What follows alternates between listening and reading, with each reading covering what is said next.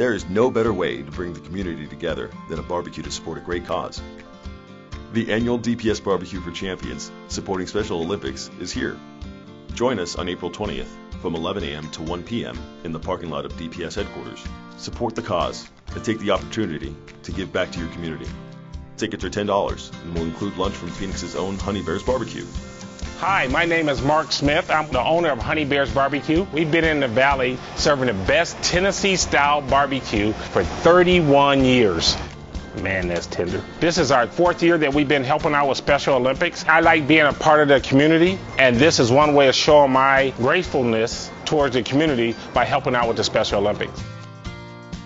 There will be live music, upwards of $19,000 worth of raffle prizes, including firearms, restaurant gift cards, and hotel stays, and a special surprise involving the executive staff. All proceeds benefit Special Olympics Arizona. DPS employees are encouraged to wear comfortable clothes to the barbecue. There will be parking restrictions at the headquarters building starting April 18th. Any employees interested in volunteering or seeking additional information regarding the event please visit azdps.gov slash barbecue.